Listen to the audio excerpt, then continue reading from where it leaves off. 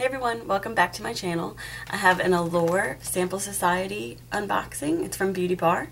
Um, so let's get right in. Okay, so you open it up and there's a little pamphlet, which I'm guessing, yeah, has the stuff inside, but I'm not going to look at that so that I can be surprised too.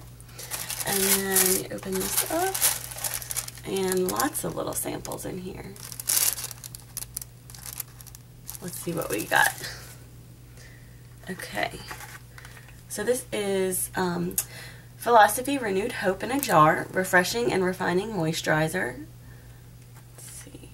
Uh, it's gonna go. Nah, maybe you can see it like that. I'll have pictures of all this stuff on my blog, so it'll be better to see.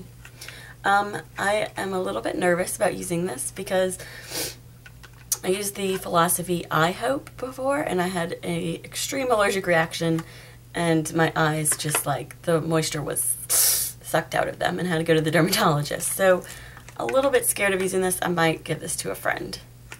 Um, let's see what's up next. Revlon Photo Ready Eye Art. This would have come in handy for the holidays. Looks very, very glittery. Let's see open easily.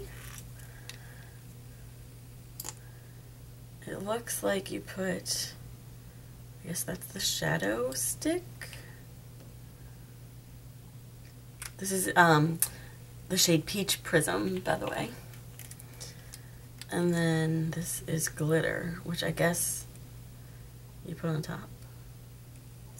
Yeah, this would have been fun for New Year's Eve. Um, Definitely not an everyday kind of look, but um, it'd be fun for parties. I'll put some swatches on my blog too because it looks like the color is getting a little bit washed out. And that glitter is hard to see. But that would be fun for special events. Okay, next up we have Philip B Lightweight Deep Conditioning Cream Rinse. So this will be interesting. It says it's phthalate free, um, color and keratin treatment safe. So it should be pretty um, gentle. It doesn't have, oh, there, it popped out on my finger. there it is. It does not have a strong smell at all, um, which I like, so that'll be fun to try. Perfect little travel size to keep um, in your bag for when you go on vacation get rid of that real quick. Okay. Next up, we have a nail polish. This is Zoya, which I don't, I might have tried one Zoya nail polish before, so I'm excited about this. Um, this is in Leslie. It's a really pretty, I would say, like, classic lavender. Um, I don't see any shimmer either, so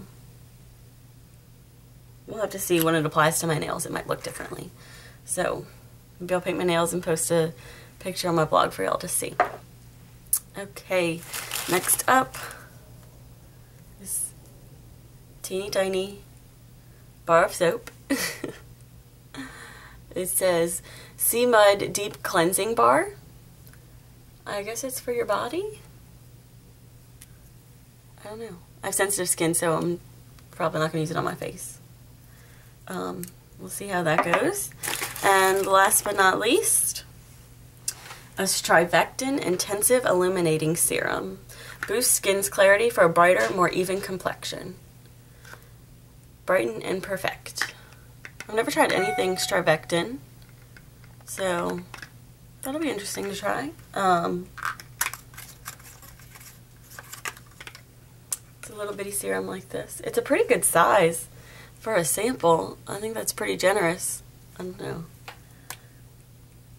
Let's see what the consistency's like.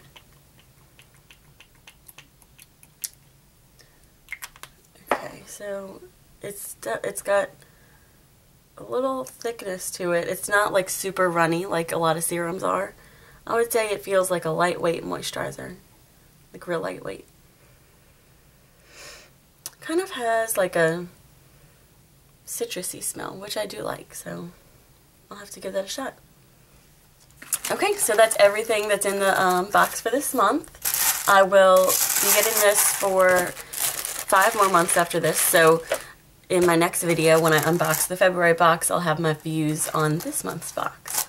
Um, and if I do end up giving this to a friend, I'll make sure to check in with them and see what they thought. So thanks so much for watching. I hope you guys have a great day. Um, please subscribe down below and like this video if you did. And I'll see y'all next time. Bye. I have a Allure Sample Society. Oh, that's upside down.